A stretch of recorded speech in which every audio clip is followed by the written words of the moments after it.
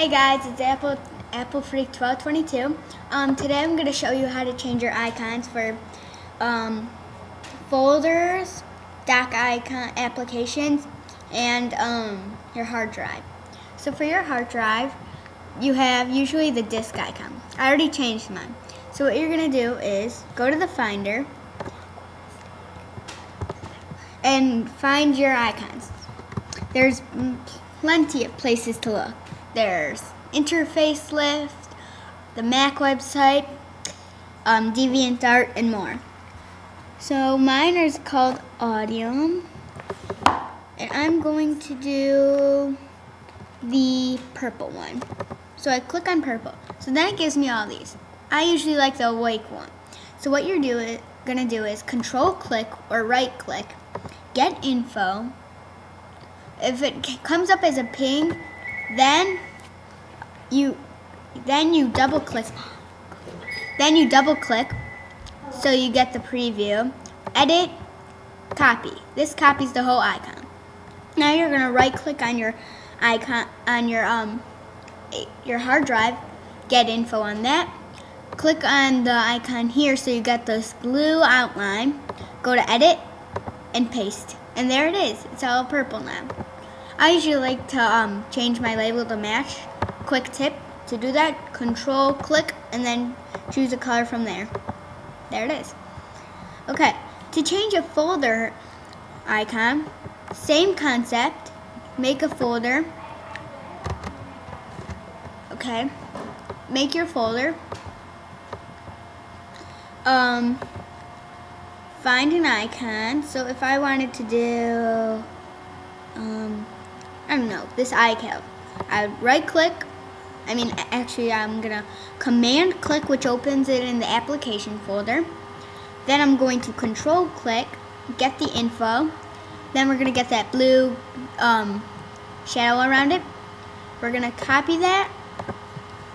We're gonna go to the folder, control click on that. Get that info, click on here so you get that blue um, um, shadow, and then put it down. And then you changed it. It's purple now. Okay, since I don't need that. Okay. Now, I've changed all these purple icons. Um, and I made a new one for this because the I show you is usually blue. Um, okay. So, hold on. So, let's say I want to change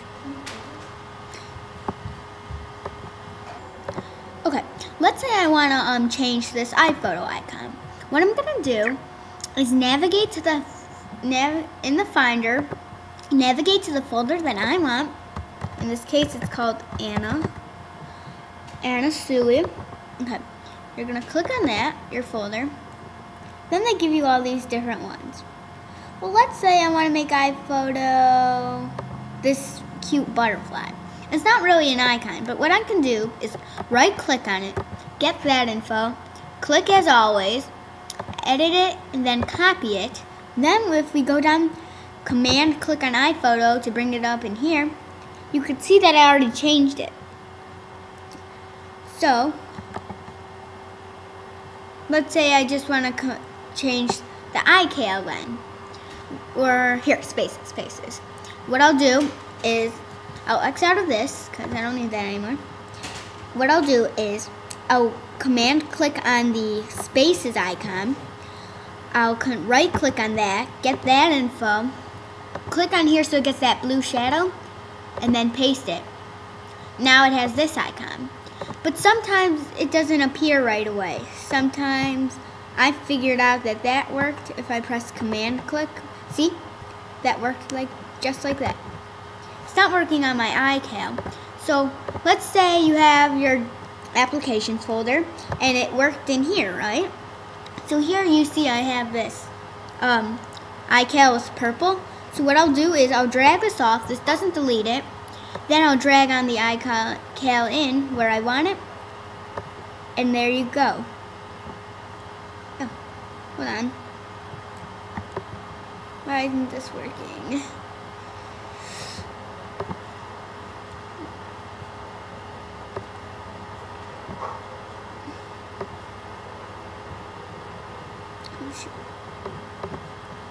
Um. on.